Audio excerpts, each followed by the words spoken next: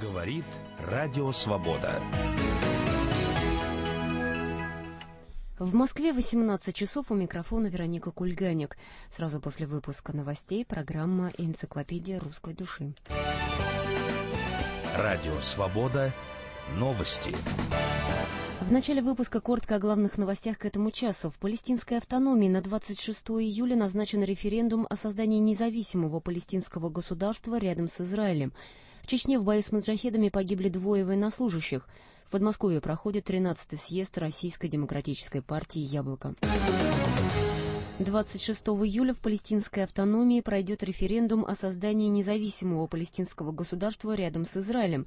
Указ об этом, подписанный главой автономии Махмудом Аббасом, был обнародован в субботу в городе Рамалах на западном берегу Иордана. Ранее боевики Хамаса впервые за последние полтора года подвергли Израиль ракетному обстрелу после того, как в секторе Газа в результате израильского обстрела погибли не менее семи палестинцев. Палестинские власти объявили траур по жертвам обстрела. Военизированное крыло Хамас заявило, что прерывает перемирие с Израилем. Власти Израиля сообщили, что начинают расследование инцидента. Военные утверждают, что пытались предотвратить ракетные обстрелы израильской территории из сектора Газа.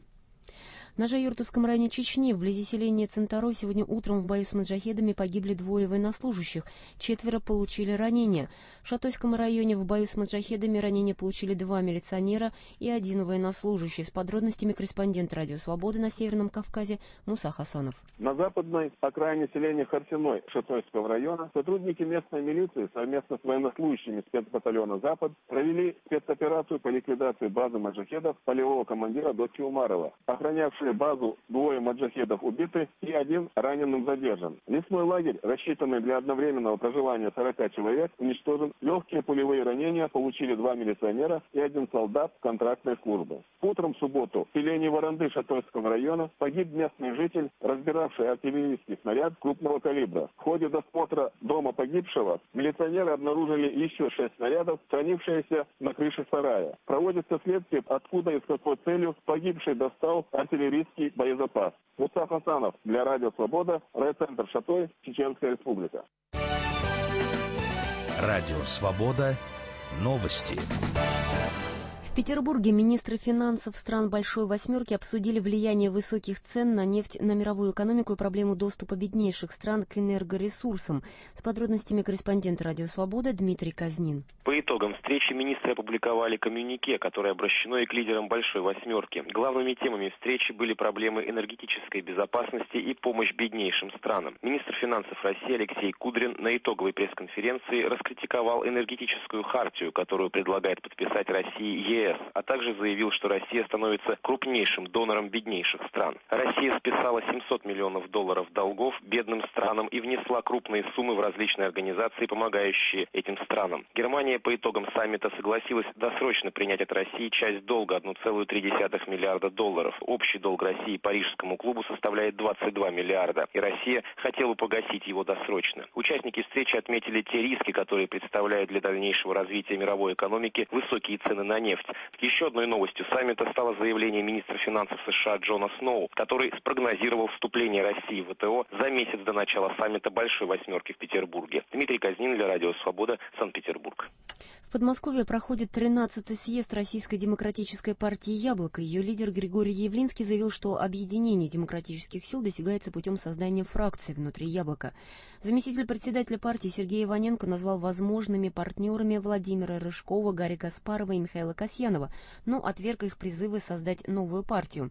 На съезде планируется утвердить создание в «Яблоке» пяти фракций – «Зеленой России», «Солдатских матерей», «Правозащитной», «Молодежной» и «Гендерной», «Женской». На Украине приостановлены вновь переговоры о создании парламентской коалиции между пропрезидентским блоком «Наша Украина», блоком Юлии Тимошенко и Социалистической партии. Как рассказала корреспонденту «Радио Свобода» пресс-секретарь «Нашей Украины» Татьяна Макриди, разногласия возникли в ходе обсуждения кандидатуры спикера. Социалисты не желают уступать этот пост пропрезидентскому блоку. Радио «Свобода». Новости. Военные США в Багдаде сообщили, что проводится вскрытие тела Абу Мусаба Заркауи, убитого 7 июня в результате американо-иракской спецоперации. Как заявил в пятницу генерал Уильям Колдуэлл, а Аз Заркауи, глава Аль-Каиды в Ираке, был еще жив, когда его нашли. Uh, uh, Согласно сообщениям очевидцев, Заркауи пытался встать с носилок, его вновь уложили на носилки, и вскоре он скончался от ран, полученных в результате авиаудара. Сказал ли Заркауи что-то иракским полицейским, я не знаю. Согласно сообщениям военнослужащих сил коалиции, которые прибыли на место, он пробормотал что-то очень тихо, но понять это было невозможно сказал американский генерал. В Багдаде сегодня по меньшей мере три человека погибли и около 30 получили ранения в результате взрыва на одном из городских рынков. Силы международной коалиции в Афганистане за минувшую неделю уничтожили более 40 боевиков, сообщило сегодня командование. В последнее время нападения экстремистов, особенно на юге Афганистана, заметно участились. Только за последний месяц их жертвами стали более 400 человек. В Варшаве впервые прошла разрешенная властями демонстрация представителей сексуальных меньшинств «Парад равенства».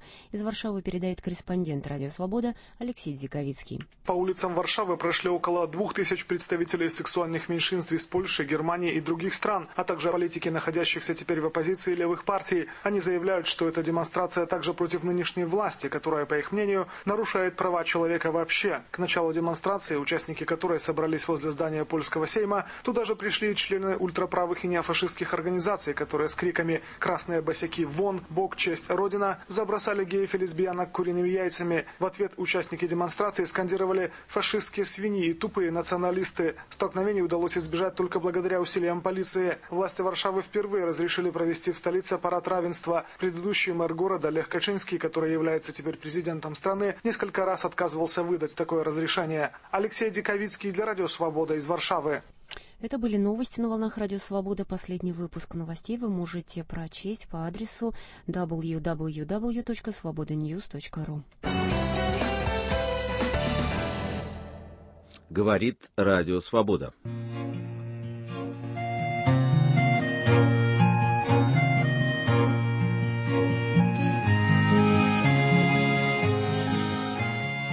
У микрофона в Москве Виктор Ерофеев. Здравствуйте. В эфире «Радио Свобода» передача «Энциклопедия русской души». Наши гости – поэт Татьяна Щербина. Здравствуйте. Привет. Таня. Журналист «Эхо Москвы» Матвей Гонопольский. Добрый день. Заместитель главного редактора ради... радиостанции «Сити ФМ» Игорь Зимаков. Здравствуйте. Здравствуйте. Здравствуйте. Тема нашей сегодняшней передачи – «Радио в нашей жизни». О том, за что мы любим, э, любим радио и за что мы его не любим, как оно пришло в нашу жизнь, об этом мы обо всем мы поговорим с вами, дорогие наши слушатели. А мы ждем ваших звонков по телефону прямого эфира 800 200, 8 800 220 12. Это бесплатный звонок. А также мы ждем сообщения на наш пейджер в Москве 961 тройки, в Екатеринбурге 358 8720, в Санкт-Петербурге 053. Абонент радио Свобода. Ну и, пожалуйста, подписывайтесь и указывайте свой город. Ну что же, радио в нашей жизни. Матвей, начнем с тебя. Скажи мне, пожалуйста, когда ты впервые услышал радио? А, я услышал в, в глубоком детстве, потому что ничего другого не было. Я родился в 53 году, поэтому, ну вот как что-то я стал понимать, э, на кухне висела радиоточка. Э, с одной программой, С да? одной программой, да, и с таким движком громкости, не который крутится, а который двигается вправо-влево. Он плохо работал, да, и поэтому радио говорило либо очень тихо, либо очень громко. А, это были очень странные передачи, э, где, ну, что такое Укра... Украина, город Львов глухого советского времени. Это передачи про колхоз, э, это какие-то народные песни, что было, собственно, очень хорошо, но когда этого много, то это очень плохо. И это, эм, это гимн. Тогда передавался гимн Советского Союза и гимн Украины. А радио заканчивало работать в 12 часов, начинало в 7 утра, не в 6, а в 7. Еще с гимном у меня связано одно неприятное воспоминание. Однажды моя мама легла в больницу, я был совсем маленький, я еще даже в школу не ходил, и отдала меня соседям, и я у них спал. А, они, они, они просыпались не по будильнику, а от гимна Советского Союза. И вот ровно в 7 часов утра рявкал гимн Советского Союза. Э, и я возненавидел это. То есть не гимн, а вот, вот радио тогда. Ну а потом было совсем другое. Потом, ведь Львов находится недалеко от Польши. И ты стал слушать. Я стал слушать, во-первых, польскую радиостанцию, которая первую программу, которая была на э, длинных волнах, а после этого на коротких что-то стал слушать. А на коротких наткнулся на всякие свободы BBC «Голосы Америки». Э, после этого э, после этого пытался отделить глушилки от самой станции, После этого переделал сам приемник, чтобы в нем, меня поймут радиослушатели среднего и старшего поколения, чтобы радиоприемник принимал 19, 16 и 13 метров. После этого это уже было, наверное, спидола у тебя, да? Это не, у меня была не спидола, у меня были там другие названия, ну, в общем, mm-hmm. вот такие вот. Mm-hmm. Ну, отверточкой я умел это все делать. И вот с того времени радио как что-то теплое, свое и родное, к которому даже в прямом смысле ты руки приложил, вот это у меня есть. И э, это дело не в том, что я работаю на эхе Москвы, а дело в том, что вот радио, ну, например, многие засыпают, слушая музыкальные радиостанции. Я засыпаю уже много десятков лет – под разговорные радиостанции. Под шорох такой голос. Под шорох голоса. Кстати, не обязательно, миллионы людей так да, делают. Да, миллионы да. людей. Потому что им кажется, что они одиноки, если не работает да. вот эта вот маленькая радиоточка. Ну, а «Эхо Москвы» — это уже другая история. Но если бы даже не было «Эхо Москвы», все равно не именно телевидение, а именно радио. Это вот оказалась часть вот э, твоя передача называется «Энциклопедия русской, русской души». души. Угу. Вот часть моей души в ее энциклопедию я смело вношу радио. Хорошо, у нас Андрей из Одинцова. Андрей, э, радио вашей жизни. Ага. Здравствуйте, Виктор. Здравствуйте, Матвей. Очень уважаю вас и слушаю вашу станцию. Здравствуйте, Татьяна и Игорь. Вот я живу в Одинцово, у меня такая проблема. В УКВ диапазоне 73-82 эхо Москвы вещает, да? Так, на, да, на, да. На, на которой вы, Матвей, работаете. Я постоянно вас слушаю. Но я не могу в течение двух лет полноценно слушать станцию. Почему? Почти каждый день в эфире на этой частоте ведутся какие-то неизвестные телефонные разговоры. Мне приходится их слушать, а эхо Москвы не работает. Возможно ли такое на госчистоте и куда мне обратиться? Вы знаете, ну не знаю, наверное, в ФСБ вам нужно обратиться. Вообще есть такая организация, которая занимается чистотой, чистотой эфира. Чистоты. Э, да, чистотой эфира. Но я просто у нас немножко передача не об этом. Лучше позвонить вам без посредников на Эхо Москвы, потому что мы немножко про другое. Но мой совет вам такой, слушайте нас на 91,2. Там посторонних разговоров нет. Танечка, Таня Щербина, поэт. Тань, э, радио в твоей жизни такое же большое значение имело, как у Матвея?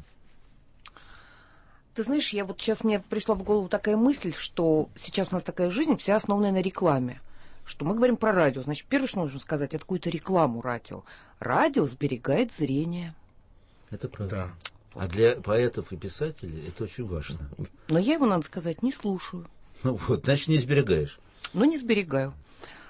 Но раньше сберегала. Так погоди, ты вообще никакое радио не слушаешь? Я вообще никакое радио не слушаю. А когда в машине едешь? В машине только радио классик, я извиняюсь, музыку классическую, mm-hmm, больше mm-hmm. ничего. Танечка, я... Танечка точно попала на передачу. Точно, да. Да, я, я просто... То как... есть она у нас будет как э, отрицатель радио да, в нашей да, жизни? Нет, ну, дело в том, что наоборот. А, а раньше, э, э, ну, что-то вроде «Свободы» или немецкой волны. Нет, я просто BBC. думаю, что я в своей жизни переслушала радио, потому что там в советские времена, ну или еще там Горбачевские, я вообще я никогда не смотрела телевизор, и слушал только радио, а читать, как известно, тоже было нечего в смысле прессы. Поэтому радио это было круглосуточно, да, и «Свобода», BBC, и «Голос». Ну, что удавалось как бы там выслушать, не так это просто было. Ну и сама я, собственно, на «Свободе» работала, ну, не считайте, но писала для радио «Свобода» постоянно в течение пяти лет, с 89 по 94 Значит, отношение к, к радио и к «Свободе» имеешь. Ну, так, Юрий, давайте послушаем, что Юрий скажет про радио в его жизни. Юрий из Москвы.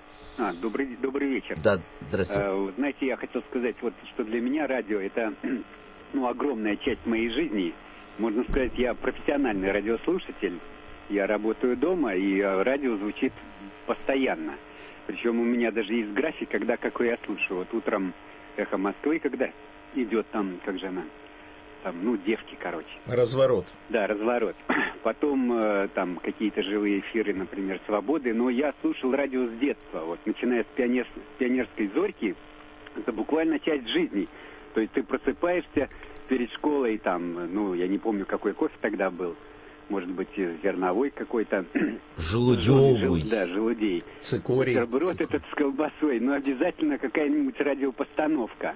Да, и, кстати буквально... говоря, некоторые были замечательные радио. Это были и великолепные. Театр у микрофона. Вот постановки с э, прекрасными. Я потом покупал пластинки, где читали вот замечательные актеры эти книги. Их даже потом, когда я их читал, я читал их э, голосами тех актеров, которые слышал.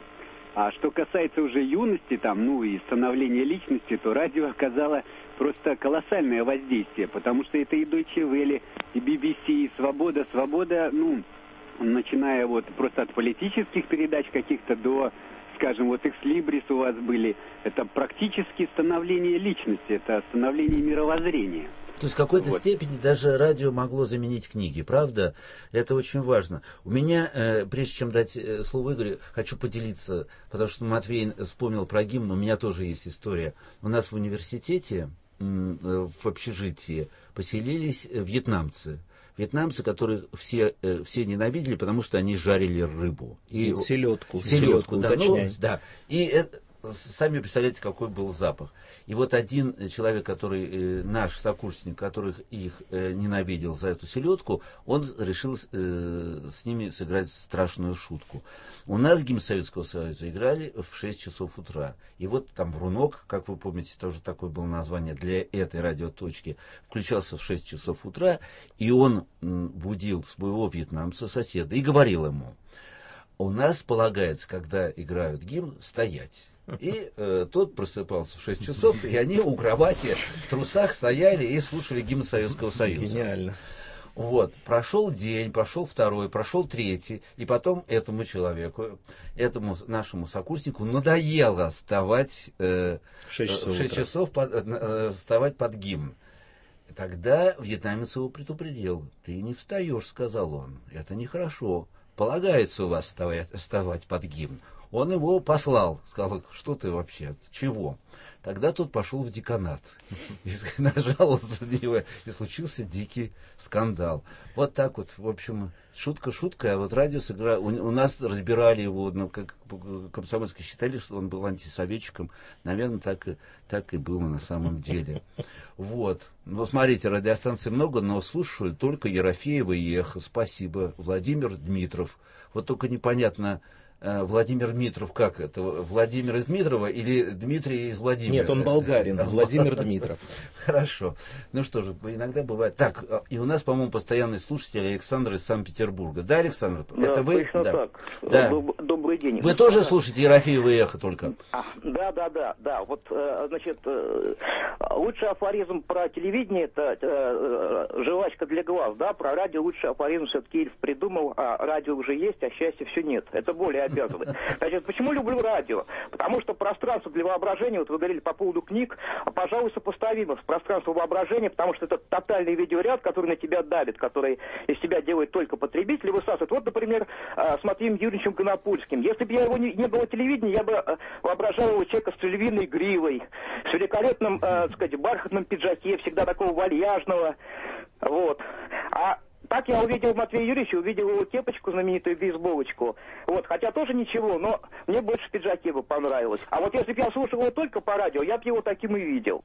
То есть э, радио это как книга, сам составляешь образ, а телевидение этот образ или развенчивает, или каким-то образом этот образ становится уже не образом, да? Так, значит, мы продолжим через 30 секунд. Корреспондентский час «Радио Свобода». В эфире Благовещенск, Антон Луздин. На минувшей неделе... В эфире Ставропольский край, Лада Леденева. Льготные лекарства... В эфире Нижний Новгород, Олег Родин. Квитанции с новыми... В эфире Подмосковье, Вера Володина. От Брянска до Южно-Сахалинска и от Уренгоя до Сочи наши корреспонденты рассказывают о том, что волнует людей больше всего. Корреспондентский час «Радио Свобода» выходит в эфир в субботу и в воскресенье в 9 часов утра. Время московское. Слушайте «Радио Свобода». Да, слушайте Радио Свобода, слушайте нашу передачу «Энциклопедия русской души». В московской студии автор ведущий Виктор Ерофеев. Еще раз всем здравствуйте. Сегодня у нас в гостях поэт Татьяна Щербина, журналист «Эхо Москвы», всем вам известный Матвей Гонопольский и заместитель главного редактора радиостанции «Сити ФМ», это новое городское московское радио, Игорь Зимаков. Тема нашей передачи, если кто не понял, радио в нашей жизни – Игорь, ну, а теперь ваша очередь, радио вашей жизни. И как вы дошли до такой жизни, что стали заместителем главного редактора одного из радий? Ну, если бы мне кто-нибудь еще там года три назад сказал, что я буду заниматься радио, я бы не поверил, это правда. Я занимался телевидением. до последнего времени, до закрытия программы «Свобода слова» я был ее шеф-редактором. Потом мы с Савиком Шустером пытались э, заниматься документальным кино на канале. Из этого вышло то, что он сейчас в Киеве, а я занимаюсь радио. А до этого... Вот пусть решают радиослушатели, почему так случилось. Да. А до этого мое обращение к радио оно было таким странным. Когда у нас был дома огромный ламповый приемник, такой, Урал, по-моему, назывался. Урал, такой, Урал. Замечательный. Светлое. Там был такой индикатор классный, когда попадаешь в волну, он там как-то так реагировал, похож на бабочку. И э, вот мои детские воспоминания связаны с этим приемником и с э, таким бесконечным ползанием в, на коротких волнах. Там были короткие волны один, два, три. Э, это был такой способ послушать мир и мне лет было 10, может быть, это был каждый вечер, это было очень интересно. Отец мой, э, будучи, как мне кажется, по состоянию души постоянным оппозиционером, он был тогда оппозиционер, он теперь оппозиционер, он тогда слушал все, что можно было слушать на коротких волнах. И мое воспоминание детства о радио — это... Я не помню точно какая волна, но точно помню, что э, Солженицын сам читал, э, значит, о событиях 62 -го года в Новочеркасске. Вот это я очень хорошо запомнил. И потом мы долго с отцом пытались обсуждать, а что же тогда было, но он как-то не очень в это верил. Потом я уже прочел это сам. А повторное обращение к радио, это уже 90-е годы, когда э, радио стало, скажем так, наиболее эффективным и очень быстрым источником информации, и в силу профессии, в силу того, что как бы, я занимался информацией общественно-политическими программами, но я просто его слушал постоянно. Хотите маленькое радиочудо? Вы сказали слово Новочеркас. Сейчас будет звонить нам Борис Павлович из Новочеркасска. Вот так. Да, Борис Павлович. А, здравствуйте. Да, здравствуйте. Ну, в моей жизни радио играет очень большую роль. Я сам радиолюбитель, радиоинженер. Мне хоть 60 лет, я все равно регулярно слушаю. А как приобщился радио, к радио я очень благодарен радио за то, что собрав тогда еще в далекие 60-е годы свой первый приемник, я услышал по радио великолепную музыку джазовую музыку. А, да. И потому что нигде достать нельзя было. Я записывал это на кассеты, э, на пленку, и ребята приходили ко мне и слушали все эти музыкальные шедевры. Также с Битлзами. Первые записи были у меня, а не э, на пластинках. Пластинки приходили где-то через полгода. Так что я до сих пор слушаю радио, слушаю музыкальные программы и слушаю радио «Свобода». И Борис Павлович, а вот первое радио в вашей жизни, это что, «Пионерская зорька»? В моей жизни? Да, да. Э, радио, прежде всего, это музыка для меня. Вот хорошо. Это очень... Прежде всего. Я, я же работаю дома, я чиню радиоаппаратуру. Ну, работаю так тогда дома, понятно. мастерская. Включаю радио работаешь. А по телевизору работать невозможно. Это правда. Это правда. Спасибо вам большое. А вот э, господин Родионов из Санкт-Петербурга э, э, обращается к вам, Матвей. Э, на самом деле он дает ценный совет. Смотрите, Матвей, вам надо было слушателю посоветовать настроить резона резонансный контур подбором конденсатора. Вот что предлагает. А насчет ФСБ, это мне надо звонить, потому что мой телефон отключили от радиостанции «Эхо Москвы» и «Радио Свободно». Ну, загадочный человек. Ну, он, наверное, имеет в виду, э, насчет резонансного контура я не знаю, а насчет того, что отключили, имеется в виду, что он дозвониться не может. А, ну, мы честные, мы вас не обманываем. нет, ну, кто дозванивается, тот дозванивается. Тот действительно, тот, кто дозвонится, тот дозвонится. И на самом деле у нас такая милая Маша Шабурова, которая сидит на телефоне, она всем разрешает э, говорить все, что люди хотят. Так что звоните, Вот пожалуйста. э, если мы говорим, э, если мы говорим уже не о какой-то фактологии, да, что вот, например, э, там услышал первое, да, для меня это было и радио няня, для меня это была и пионерская зорька с крикливым «Слушайте пионерскую зорьку». Дело в том, что жизнь-то была такая очень скучная и плохонькая. Я все понимаю, я понимаю про колбасу, это я все знаю, да? Но вот она была скучная и невыразительная. И вот радиопотрясение, если говорить, радио открывало пространство. Оно вдруг, ты, живя в своем городе, не представляя даже себе, что когда-нибудь все, вся эта жизнь изменится, что ты окажешь, что рухнут границы, что у тебя будет зарубежный паспорт. Я ведь жил с ощущением очень долго, что я здесь буду всегда. И просто как бы мне было понятно, что меня никто никуда не выпустит, и я даже не задавал себе вопросы, почему. Потому что как так на принято. Цепи, как на цепи, да. И вот радио, оно вдруг... Э, ну вот на такой факт, например. Я очень любил музыку с детства, а ведь э, в эти 60-е года, 60-е, 70-е года, а, например, да, вот 70-е, когда оттепель уже уходила, и вот опять начинало такое бронзовое брежневское время, музыку-то нигде невозможно было послушать. И вдруг совершенно неожиданно я, крутя средние волны, а тут я хочу всем напомнить, что средние волны, они очень странно распространяются. Днем они плохо работают, только, э, только местные станции ты слушаешь. А вечером и ночью, особенно вот вечером, после 10 часов, ты слушаешь невероятно, ты слушаешь всю Европу. Причем станции накладываются одну на, одна на другую, потому что местные станции, ну, это такое, такое свойство, э, свойство некоторых слоев атмосферы. И вот я поймал знаменитую, я уверен, что содрогнутся сейчас сердца очень многих э, ребят, которые нашего возраста, которые любят музыку. Я наткнулся на радио Люксембург. Э, радио Люксембург это не станция Люксембурга, это радио Люксембург. Просто так называлась эта станция. Ее вели э, два диджея, ну их было больше, но два самых известных на средних волнах, если я не ошибаюсь, 213 метров. И э, там была музыка. И вот знаете, эта музыка, она не чисто была, как на FM, вот как сейчас мы включаем, и просто студийное качество. Она как бы прорывалась, она иногда заглушалась, иногда были то, что на радио называют демпфинги, то есть уходила, затухала эта волна. И твое сердце билось вместе с этим уходом и приходом и ты ощущал себя, как будто открыли клетку, в которой ты сидишь. Понимаете, вот это вот, вот такой апгрейд радио, который делал, э, который, который радио делало с человеком, вот это совершенно, совершенно удивительная вещь. Э, ты, ты начинал понимать, что существует мир. Понимаете? Вот мир, мир есть. Да он тебе недоступен. Матвей, я даже скажу, что вот э, коллекционирование марок и радио это были те две вещи, которые расширяли горизонты. Это поразительно. Да. Вот я про себя Красивейшие бабочки да. э, марок Сенегал, а все дети, я уверен, собирали. Особенно Мозамбик, Мозамбик, и Марокко. Ангола, это да, это было Это вот все, все расшатывало границы, объясняло человеку, что ты не один в этом мире, с тебя делают идиота. Послушай радио. В общем, радио, не труд, а радио сделало нас человеком.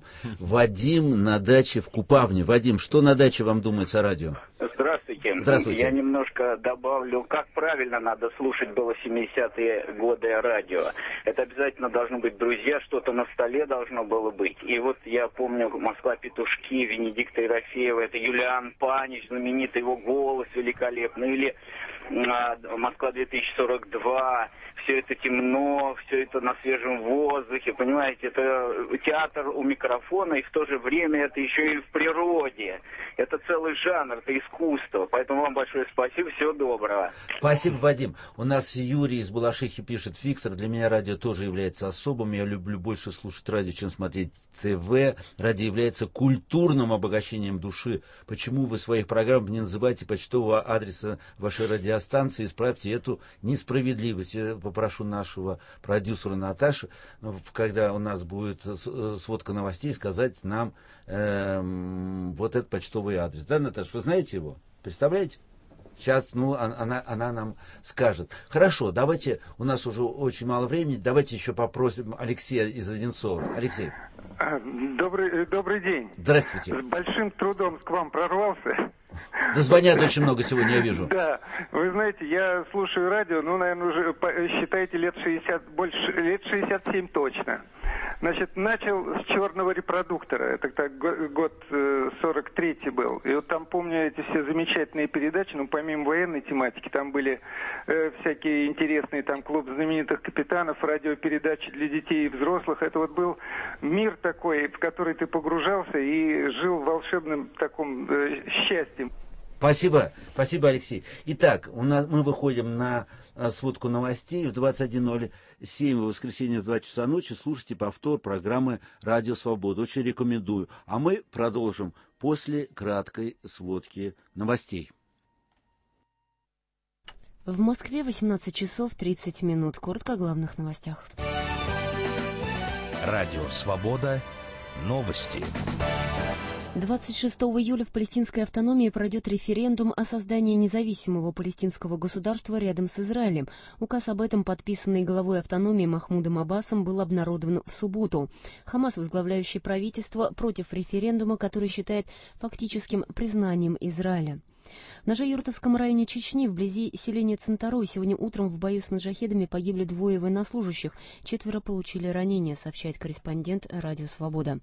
В Ингушетии сегодня траур по погибшим в результате серии нападений в пятницу. В Карабулаке при обстреле был убит командир республиканского ОМОНа, трое его детей, охранник и водитель. В тот же день была убита заместитель главы Сунжинского района. Прокуратура Москвы предъявила обвинение милиционеру, подозреваемому в избиении таджикских студентов. В рамках расследования задержан еще один сотрудник правоохранительных органов. На Украине вновь приостановлены переговоры о создании парламентской коалиции между пропрезидентским блоком «Наша Украина», блоком Юлии Тимошенко и Социалистической партией. Подмосковье проходит 13-й съезд Российской демократической партии «Яблоко». Ее лидер Григорий Явлинский заявил, что объединение демократических сил достигается путем создания фракций внутри «Яблока».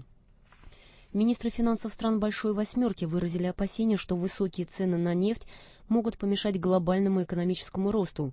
На заседании в Петербурге министры приняли совместное заявление о необходимости облегчить беднейшим странам доступ к источникам энергии. Военные США в Багдаде сообщили, что проводится вскрытие тела Абу Мусаба Аззаркауи, убитого 7 июня в результате американо-иракской спецоперации. В Багдаде сегодня по меньшей мере три человека погибли и около 30 человек получили ранения в результате взрыва на одном из рынков.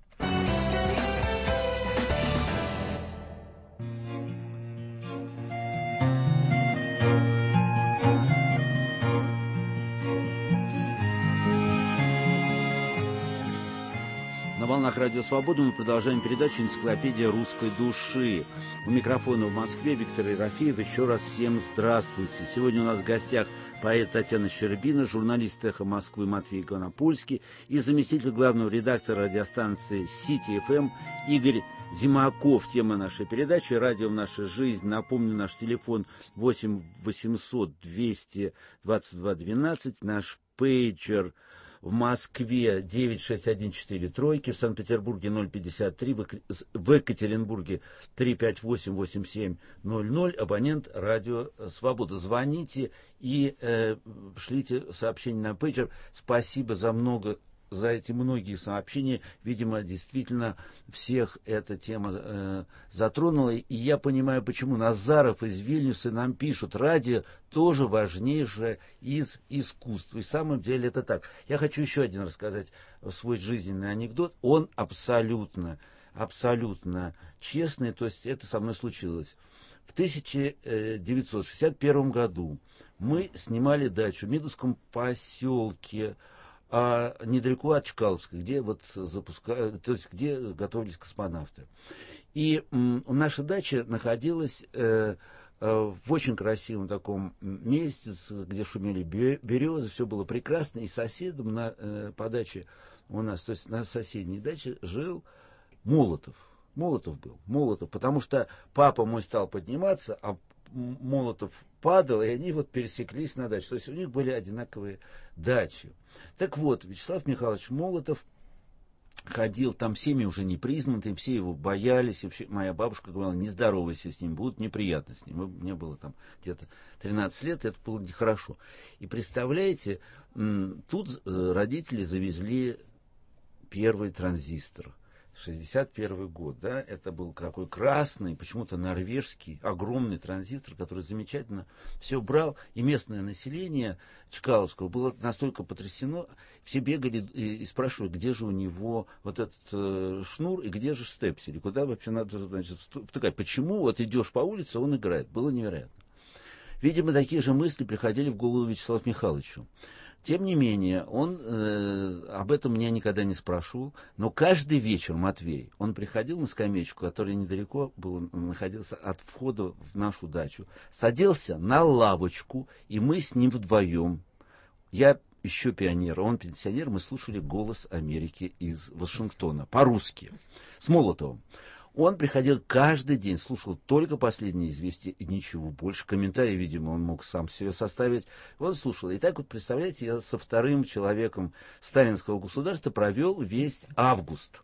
Падали, э, падали, сейчас скажу, падали звезды, 9 часов уже было темно, шумели березы, мы с молотом слушали. Однажды случилось неизбежное. По голосу Америки таким хорошим басом сказали, что вчера студенты Берутского университета, э, университета бросали в полицию, в полицейских коктейли Молотов. А тут сидел вот этот самый главный. Автор коктейлей. Автор кок коктейлей. Бармен, политический бармен. бармен. Политический бармен, совершенно верно. Я обернулся к Молотову и сказал невинно, как ребенок, кем я и был. Я сказал, дядя Слава, сказал, обращаясь к вождю, а что такое коктейль Молотов? А он сидел всегда прекрасном летнем костюме, даже, по-моему, в тройке, всегда с палочкой, очень красивой палочкой, и всегда положил, он клал руки на палочку, вот так он сидел, да? Вот, и он посмотрел так на меня, посмотрел и сказал, это пустяки. И мне вот эти пустяки запомнились на всю жизнь. И, конечно, это было мучительно при Молотове настраивать вот голос Америки, свободу он не хотел. Он, вот, а, а тогда можно было слушать до того, как они начинали говорить про нас. Вот они говорили, там что-то случилось там в Париже, и пожалуйста. А как только про Берлинскую стену или про нас, начинала выйти глушилка. И я начинал ее исправлять. Ну, все мы знаем, что были такие волны, которые можно как бы подлезть было, в щелочку посмотреть, в замочную скважину взглянуть на этот, на этот радиомир. И Молотов сидел совершенно непроницаемо. То есть он, он сидел и ждал, когда я это настрою. Я понимал еще тогда, что он и сам был тот самый человек, который приказал делать глушилки и все прочее. Но сейчас он считал, что может э, потерпеть, все нормально, и голосом Америки обогащался этот человек. Это истинная история, и мне кажется, что это одна из тех историй, которые действительно, как Назаров из Вильнюса говорит, радио важнейшее из искусств. А Александр из Москвы, пожалуйста. Добрый вечер, друзья. Да, здравствуйте. Ну, кусочек с Мальты, воспоминания. Пожалуйста. Да, вот, конечно, для меня радио это трофейный телефон э, отца ночи склонившегося, и вот под завывание такое постоянное, прекрасно, медленные, артикулированные голоса которые с трудом, но смысл доходил. Еще такая, такое, так сказать, журнал «Пионер», и вот я собираю приемник, сам полностью и сопротивление, и конденсатор, и самое главное вырастить кристалл детекторный приемник, он так назывался «Пионер». И вот мы летом путешествие, это Припять, это мы останавливаемся на огромном стаге сена в полной тишине. Я ее включаю, и он работает, и слышно. Это был Москва, тоже великолепный концерт, я даже запомнил, как музыка Чайковского. Это, это блестяще, ребята. И вообще говоря, так сказать, перефразируя великого пролетарского писателя, Радио – это бог свободного человека. Здорово, Александр, здорово. Я все думаю, надо все-таки создать премию за лучший звонок. За лучший. Я не знаю, как у вас на «Эхо Москвы». У меня она еще такое желание только э, теоретическое. А что вот дарить книжки? Кстати говоря, вот у Тани Щербиной вышел первый роман. Я все представляю, как как поэта и замечательного поэта, а у Тани вышел роман «Запас прочности», да, в, в издательстве Аги. И кажется, этот роман, который каким-то образом, по-моему, по тематике пересекается с, э, с тем, что мне дорого. Вот то, что я делал в хорошем Сталине, это воспоминания о стране и воспоминания о семье. Правильно, да, Танечка, да, да, да, да? Я поздравляю, по-моему, только роман вышел чуть ли не вчера. Да, да. да. Хорошо, а теперь давайте займемся уже серьезными делами. Матвей, скажи мне, пожалуйста, что такое идеальное радио? Что такое идеальная радиостанция? Вот ты работаешь на идеальной радиостанции, как можно ее сделать еще лучше? Или вообще, что такое вот идеальное радио? Что бы ты хотел получить в этом? Я ничего, собственно, не хочу, потому что э, девизом «Эхо Москвы», собственно, э, существует такой слоган, да, который, наверное, должен быть девизом любой радиостанции. Вот так он случайно у нас родился. Свободное радио для свободных людей. Я уверен, что этот слоган абсолютно спокойно ложится и на свободу, и на голос Америки, и на Deutsche Welle, которую я очень люблю. Кстати, у меня я очень часто езжу по городу, и у меня, например, средние волны забиты, соответственно, на первой кнопке «Свобода», а это же все средние волны. Э, «Свобода», после этого BBC, после этого Deutsche Welle, и после этого 810 килогерц «Голос Америки». Э, идеальное радио, э, по сути, что такое радио? Это микрофоны, трибуны и человек, который сидит перед микрофоном. И, собственно, качество радио определяет отнюдь не передатчик – а тот человек, та личность, которая сейчас в данный момент находится у микрофона, или группа каких-то очень интересных людей.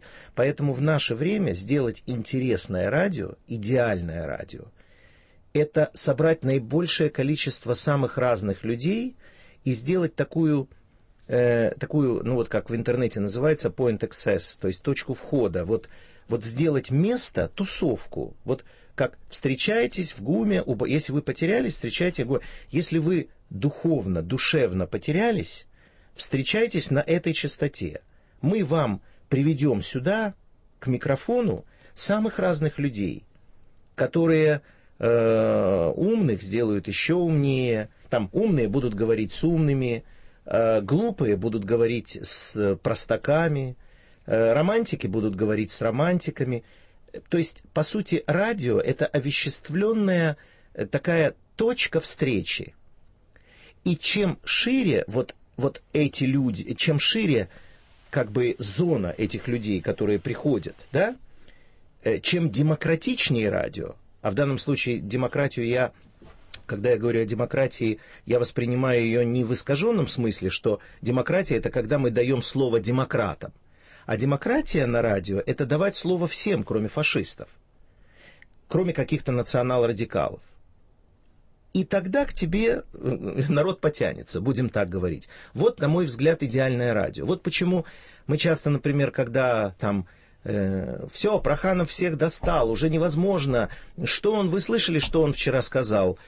Мы понимаем, что есть такие люди, которым этот Проханов близок, он как, он как, как брат им родной, понимаете? И Проханов остается в эфире. Вот это вот борьба с собой за идеальное радио. Поэтому вот как, это знаете, как, э, как улыбка Джаконды. Можно бесконечно пытаться понять, так все-таки она улыбается, или она там злится, или что с ней происходит, но ты стремишься это понять. Вот так и идеальное радио. Здорово. Это Очень оказывается интересно. процесс. Вот ты понимаете? говорил, что, что может родиться во время передачи. Вот и, и родилась улыбка Джаконда у тебя сегодня. Здорово. Да. Поздравляю. Назаров по-прежнему нас атакует из Вильнюса. Сити ФМ пишет он, на мой взгляд, довольно провинциальная станция. Жаль, что на свободе больше нет программы Дмитрия Савицкого. Действительно, очень жаль, 49 минут джаза. Что вы, э, Игорь, на, на это скажете? Провинциальная Насчет радио? провинциальной Да. станции? Да. Ну, мы так себя и позиционируем, как станция провинциальная, как станция этого города. Не знаю, в Вильнюсе ее можно слушать только через, э, через э, нет, насколько я понимаю. И мы совершенно не стремимся выходить за рамки города, в котором То мы есть, живем, за значит, которым Назарову работаем. нечего слушать это, это радио. О, нет, слушать, может, все, все, кто хотят, но мы не ставим перед собой задачи э, делать такое радио, которое бы, э, э, скажем, так сказать, распространялось на всю страну. Нет такой задачи. Я бы пожестче сказал, если можно. Откуда Да, этот пожалуйста. товарищ? Не знаю, из Вильнюса. Из Вильнюса? Назаров. А вы знаете, вот э, Сити ФМ не нуждается в вас как в радиослушателе. Дело в том, что вы просто вообще не нужны этой радиостанции. Потому что эта радиостанция для 12 миллионов москвичей а вы слушаете свои станции. Ну вот, ну, в общем, вот это так. Назаров получил по мозгам. Ну, мы тоже получили. Не думайте, что только... Посмотрите, что мне написали. Что написали? Юлия пишет. Юлия, замечательное имя. Ерофеев не упускает случая похвастаться случайными возможностями где-то пересечься с высокими людьми. То он пишет роман в Париже. Роман в Париже пишу. То в детстве беседует с Молотовым. Ну, не кажется, что это мелкое хвостовство и не имеет отношения к передачам и к программе. Я Простите, если можно, вот у меня, это моя эховская привычка, не могу не ответить. Вы абсолютно правы. И Ерофеев был бы жалким и ничтожным человеком, если не одно обстоятельство. Он действительно написал романы в Париже, и он действительно беседовал с Молотовым. Понимаете, и ничего по этому поводу поделать невозможно. Вот мы тут сидим, вот ей-богу, ну огрел бы его чем-то по голове за эту наглость. Понимаете? Но он с ним беседовал, а мы вот тут с Зимаковым нет. нет. Понимаете? И что нам делать? Вот трудно себе представить. Мы злимся, но простите. Наконец нам позвонила женщина, Лариса Дмитриевна из Москвы. Лариса Дмитриевна, радио вашей жизни. Добрый вечер. Ну, это да. с детства. Да. Э, до сих пор у меня хранится как такое радиоточка, которое моя тетя купила после войны. До сих пор даже работает. Ну, конечно, я не слушаю. Э, там всего одна программа. Но вообще, нужно сказать, э, поэта Татьяну Щербину я помню по статьям в общей газете. Правильно, правильно. Было такое, да? Правильно. Вот. А вообще, нужно сказать, вот как хотите, у меня сейчас в душе страх. Очень сильный страх. Почему, Лариса Дмитриевна? Потому что если Светлану Бахмину, женщину, маму двоих детей, можно держать в матросской тишине, то у меня уже больше ничего. А что делать, Лариса Дмитриевна? Ну, я стараюсь, хожу на митинги. Пытаюсь, ну, дети мои, в общем-то, ну, не ходят на митинги, но они проголосуют, конечно, нормально. Понятно. Спасибо. Наконец мне напомнил Виталий. Виктор, вы обещали одному радиослушателю дать адрес радиостанции. С удовольствием даю. Радио «Свобода». 127 006 Москва. Повторяю, 127 006 Москва. Старопименовский переулок, дом 18. Пишите нам, пожалуйста, и также продолжайте нам звонить и писать. А, Алексей из Одинцова, ну написано другой Алексей, значит, в Одинцово живут два Алексея. Послушаем второго. Э, Здравствуйте. Добрый день, я думаю, живет больше. Наверное. Э, я вот что хотел сказать. Э, так же, как Матвей Гонопольский, я вот жил во Львове в 59 году и пытался слушать радио Люксембург, Лаксембург, как да. сейчас помню великолепная музыка, э, но плохо было слышно. А вот гораздо лучше было слышно улица Канавера, Джезауа. Это великолепная передача, его завораживающий голос, э, этот кол джаз. Э, и в связи с этим вот Дмитрия Савицкого бы из Парижа еще бы раз послушать хотя бы однажды. Вот, это вот что касается ностальгических воспоминаний. Э, опять же, э, то, что касается Матвея Гонопольского и радио «Эхо Москвы», я с удовольствием слушаю и его, э, и Радзиховского, и, ну и других дикторов, но не могу слушать вот эти глубокие модуляции дикторш, которые предваряют рекламу, Э, и, ну, вот это неприятно довольно-таки. Поэтому предпочитаю классическое радио, радио Свободу. Понятно. Абсолютно Алексей. с вами согласен. Так, Мы так, все ладно. предпочитаем радио Свободу. Ладно, все, сейчас, сейчас тоже, смотри. На, э, у меня к тебе вопрос есть, смотри. Смотри, ты, значит, сказал, что фашистов не, э, нельзя на, на «Эхо Москвы». А антисемиты? Это Проханов же антисемит? Ну, понимаете, это очень тонкая грань если говорить вот на самом деле, э, это очень тонкая грань. Э, он не любит евреев и любит арабов. Я сейчас не говорю о других его качествах. Например, он такой, он государственник, такой человек имперский. Он считает, что Россия должна иметь... Но я кратко об этом скажу, да, вот мне кажется, что ну, не вот хочет не время, не время, не время нам э, в такой обстановке, при такой прекрасной компании пускать сюда еще Проханова. Просто хочу сказать, чтобы было понятно. И вообще, что сейчас говорить об эхо? Мы же на радио Свобода. Э, понимаете, вот многие из нас не любят арабов. А многие из нас не любят чеченцев. Понимаете? И с этим ничего поделать нельзя. И есть такое. Если мы будем призывать их бить, то тогда вон с эфира. Но он не призывает. Понятно. А вот Светлана у нас пишет так. Мы считаем фашистами вас, Гонопольских, Новодворских и так далее. Вы занимаетесь подменой понятий. Перед революцией 1917 года малый народ, ну понятно, через СМИ дурачил и оболванивал православный народ, уводя от традиции. Я на это отвечаю простую вещь. Как зовут человека? Светлана. Светлана, вон отсюда. Это не ваше радио, Радио Свобода. У вас есть... Зачем вы нас сейчас слушаете? А я знаю зачем. То, что слушать вам больше нечего. Поэтому, ну, ну, может быть, Светлана мазохистка. Вот слушает то, что ей неприятно. У меня слушать. предложение. Давайте не тратить об этом, Правильно. а говорить, например, о будущем радио. Хорошо. А, Игорь, а у меня, э, да, о будущем тоже. А у меня вот какой вопрос, э, э, касающийся, между прочим, всех этих сообщений. А Как вести себя с радиослушателями? Вот э, их надо презирать за то, что они не, не, не всегда умны. Хотя, видите, на мою программу звонят действительно замечательные люди и пишут замечательные вещи. Вот какой модус э, ввести? Вот, вот уважение, ирония, презрение, ужас какой. Такой огромный народ, и, и вот так среди него мало демократов, как бы сказала Лариса из Москвы. Что делать? Вот как вы, от- вот как вы на Сити ФМ построили политику по отношению к радиослушателям? Есть у нас определенный э, такой слегка кодифицированный свод правил для а, людей, работающих в эфире, для э, корреспондентов и так далее. А, но для нас важно, чтобы человек не ушел обиженным. Поэтому а, стиль общения с людьми, которые звонят, их очень много звонит в течение дня, там огромное количество, он а, всегда легкий и ироничный, но никогда не обижающий. Поскольку мы для себя придумали такого целевого человека, мы назвали его Гавриловичем, ну, как-то так случилось. Вот Андрей Гаврилович почему-то. Вот мы сделали э, в рост человека в натуральную величину его портрет. Он стоит в студии, э, в углу. И обращайтесь к нему.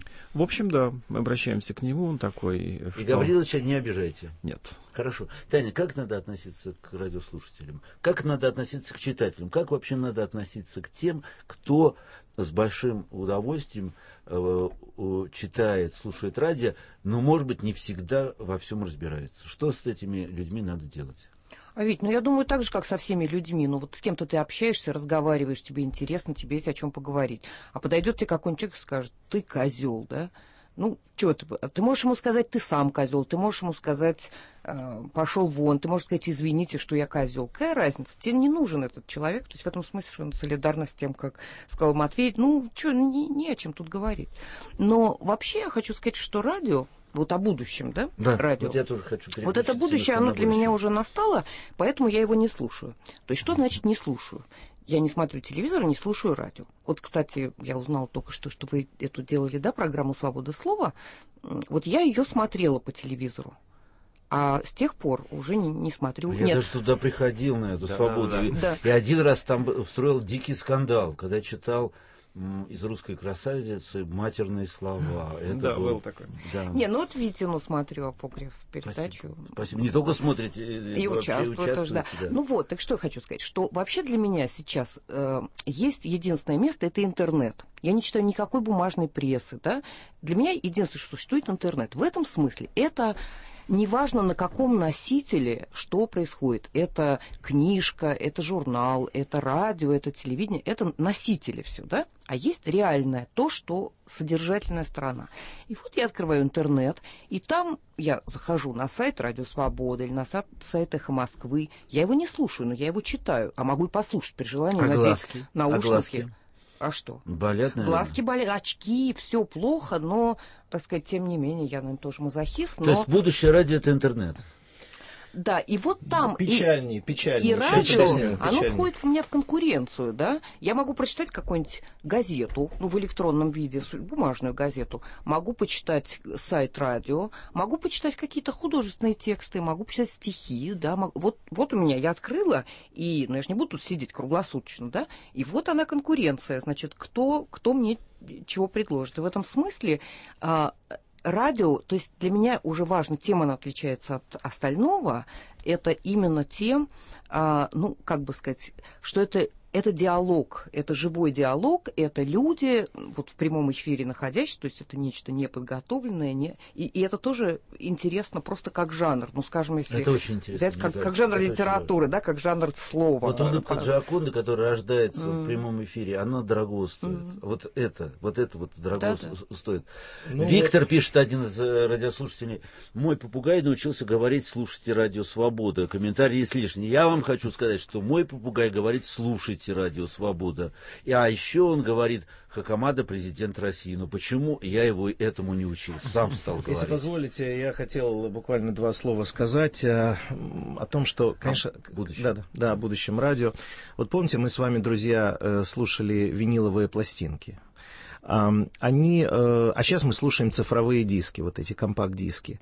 И вот э, сейчас, конечно, эти цифровые компакт-диски дают идеальный звук, но в них пропало шипение. Вот то самое шипение, которое рождало воздух, атмосферу.